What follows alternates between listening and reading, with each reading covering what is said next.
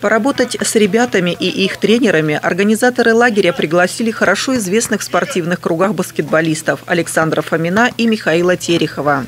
Программа обучения обширная. Они проводят индивидуальные занятия с юными спортсменами, мастер-классы, семинары для тренеров. Кроме того, самое главное – это тренировки на свежем воздухе, которые проходят на новой баскетбольной площадке в четвертом микрорайоне все мы занимаемся одним делом. Ты тренируешь там э, детскую команду из одной области или взрослую команду там из другого края. Все равно это большая спортивная семья. И если мы не будем общаться, если мы не будем обмениваться информацией, не будем друг друга подтягивать, э, помогать друг другу расти, то и детишки наши не будут развиваться.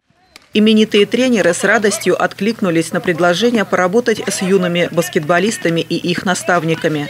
Они считают, что дети должны обязательно заниматься спортом. Растет новое поколение, а за ним следующее и так далее.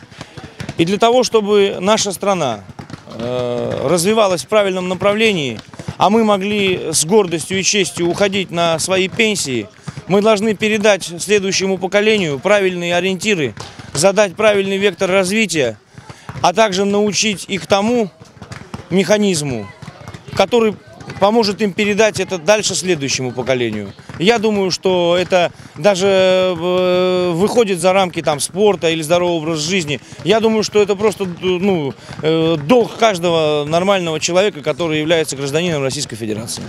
Вооружившись новыми знаниями, потренировавшись, команды юных баскетболистов примут участие в региональном этапе всероссийских соревнований по уличному баскетболу «Оранжевый мяч-2017», который состоится 12 августа.